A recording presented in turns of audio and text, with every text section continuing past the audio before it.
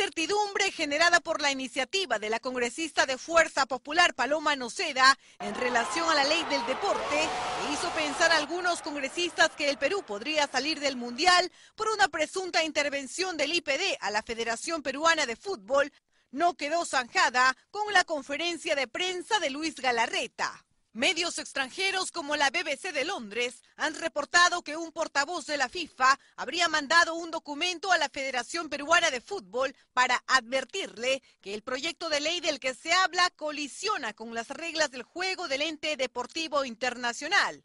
Otras portadas internacionales de medios de Chile y España han llegado incluso a deslizar una aparente posibilidad de que Chile o Italia puedan entrar al Mundial en caso de la salida de la selección peruana de Rusia 2018. Ha habido la desinformación de algunos medios. Yo lo manifesté acá. Esto no es de ahorita. Nosotros hace más, en plenas eliminatorias, nos reunimos acá en el Congreso con el representante de la FIFA y veníamos trabajando un proyecto de ley. Eh, por eso cuando dicen que había un proyecto de ley de la colega Paloma Nocera, no era cierto. Hay un proyecto de ley para fortalecer el deporte, o sea, el deporte que recibe dinero del Estado. En el tema del fútbol, eso no está en ese proyecto de ley, no estaba en ese proyecto de ley. Lamentablemente, desinformaron los medios de comunicación, pero eso ya fue resuelto en una reunión acá en el Congreso con la presencia del mismo presidente de la Federación Peruana de Fútbol, Edwin Oviedo. El axiopopulista Johnny Lescano criticó lo que consideró como un error por parte del Fujimorismo por las reacciones generadas. Inmediatamente decir que no hay un proyecto, pero ahora Yo creo que ha habido, lo que pasa es que se han blanqueado con esa conferencia de prensa que han hecho con el señor presidente del Congreso y otros más diciendo que no había nada, lo han traído el presidente de la Federación para aparentar que todo estaba bien. Y en realidad no estaba bien, estaban corrigiendo lo que ellos habían hecho mal. Es perturbar, no deben meterse en cosas que no saben.